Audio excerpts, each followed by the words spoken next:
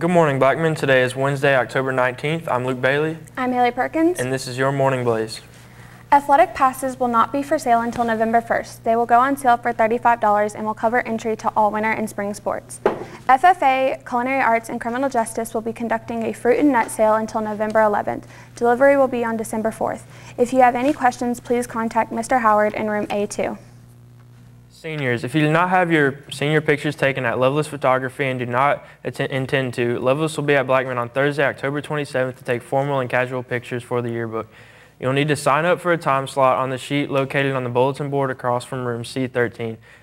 The sessions will begin after dismissal at 11:45 in the cafeteria. Wear your casual outfit and a tuxedo top and drape will be provided. Welcome to Teen Read Week at BHS Library. Any late book checked in, the paid book checked out this week will have our name put in for a $50 gift card. Now to Madison with the weather. Okay, today in weather, the current conditions is 70 degrees and the wind is 3 miles per hour. In your forecast today, the high is 90, so it totally feels like fall, doesn't it? And then we're going to have some sun throughout the week, but Thursday it's going to be stormy with a high of 79.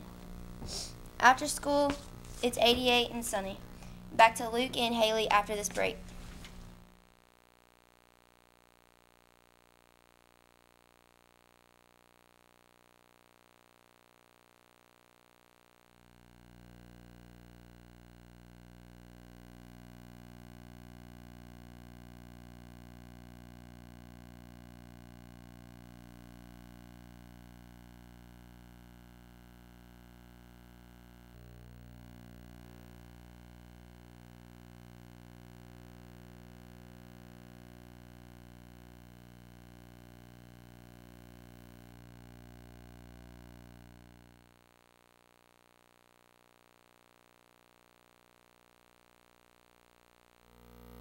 Students who earned all A's and B's on their report card, as well as students with perfect attendance this first quarter, need to stop by the Renaissance table during lunchtime to pick up your reward.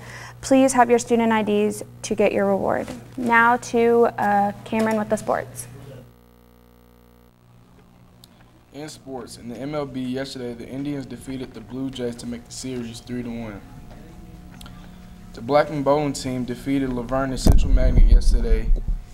Keegan Hemsley led the boys rolling at 242 and Erica Sisk led the girls rolling at 226. In the NBA yesterday, the Clippers defeated the Kings in a close game 92 to 89. Cross country next Thursday, the Blaze cross country team will compete for the chance to run at state. The race starts at 3 at uh, Sharp Springs in Smyrna. Snap.